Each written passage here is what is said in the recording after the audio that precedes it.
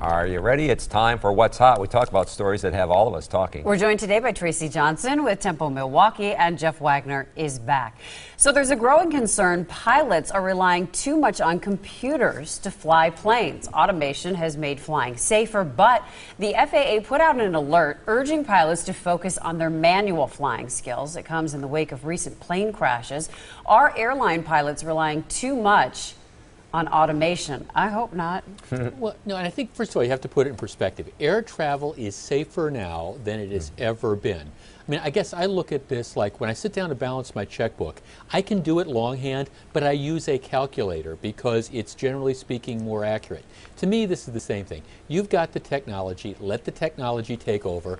Obviously, pilots should be concerned and not let their skills atrophy, but if, if technology works, use it. Well, and not to mention that uh, flying is safer now than it was years ago. Flying is safer than almost any other mode of transportation when you put it into perspective.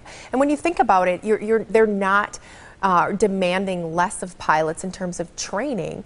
Uh, and when you th there are so many airplanes in the air, I, I, just I think this is unfounded. So I guess I don't really understand the message from the FAA. Then I mean, are they are they upping requirements? Are pilots not meeting the requirements of what they need to do on the simulator as far as practicing and getting their hours in? I mean, no, I think what they're saying is that they don't want pilots to get to a point where they rely so much on the technology that they forget how to fly the plane in case of an emergency, which I, I guess you know may, makes sense in a way. But at the same time, while you don't want your skills to atrophy, you've got the technology that's there. We've got computers, you've got all this stuff. Use it. Well, and they're also saying that there's nothing that can replace the reaction time of a human being. And so it has to really be working together at all times. Yeah, but I'm guessing the FAA saw something there that they want just to make sure or just send the right message. I mean, it is interesting, and I don't know how much training they go through, but the, I'm under the understanding that pilots go through a lot of training, and it is done with computers, and, uh, and they're required to do X amount of flying per month. So um, you obviously want them at the top of their game. Sure.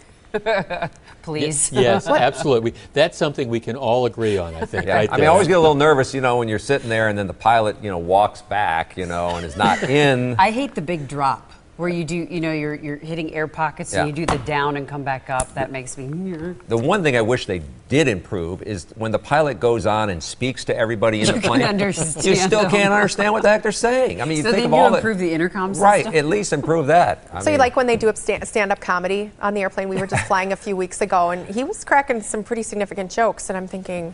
Fly the plane. Yeah. Fly the plane. Yeah. Fly the plane. As they're they're put on the fasten seatbelt sign, and I'm thinking. All right, we're going to leave it at that. Coming up, it's hot at our viewers' choice topic of the day. Again, we're joined by Tracy Johnson and Jeff Wagner. Milwaukee Public Schools moved away from traditional grades for elementary and K 8 students. A new program rates students instead. A student's grade will be based on their overall knowledge of the assignment. Should MPS eliminate letter grades for elementary school students? Boy, I, am a traditionalist, and so my initial reaction is, oh my God, that sounds like a lot more work. But when you really look at the different levels, we're talking about four different levels. Eh, do they understand it or do they not understand it?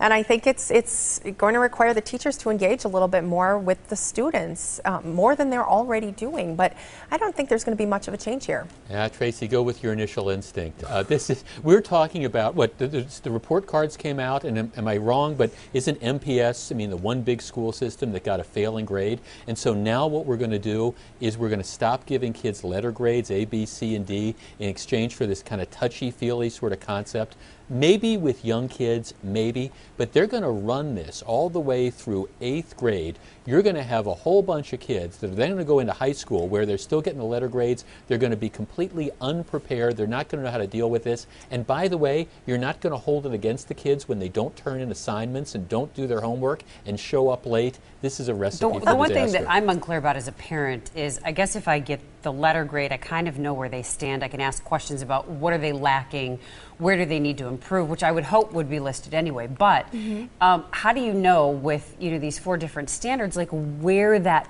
puts you Well, I mean, on the spectrum. But you That's can look my- at the letter grades. I mean, it's almost the translation. I, I, I don't even know what the top grade is, but the top grade, let's say that's very good, um, that would be your A. The second grade uh, would be meeting expectations. That, would be, a B. okay. I mean, I, I think you're really looking at a very similar thing. And the So fact just explaining what A, B, C, D. I think for us traditionalists, but but let's look at it this way, Jeff. but you said it right there. But It's- why do it? If see, I don't think you're right, Tracy. I Because think we're this failing. Is, It's I think failing. this is a C. So the answer is we're, we're not. We gotta change it up. We're not. We're not going to measure the kids that are succeeding. We. I see. What I think this is all about is they don't want kids to feel bad. They don't want some kids who aren't doing well to say, "Gee, I'm not a straight A student, or I don't have a 3.5 or whatever, so I can feel good about myself." I no. See, I just don't think this is the way to go. I think you need more accountability. All right, not less. third topic, guys. Time for our lightning round. A touching story. An eight year old boy, he's asking Santa to help his twin sister who is being bullied at school. Yeah, listen to this. Part of his letter reads Kids at school are still picking on Amber, and it's not fair because she doesn't do anything to them,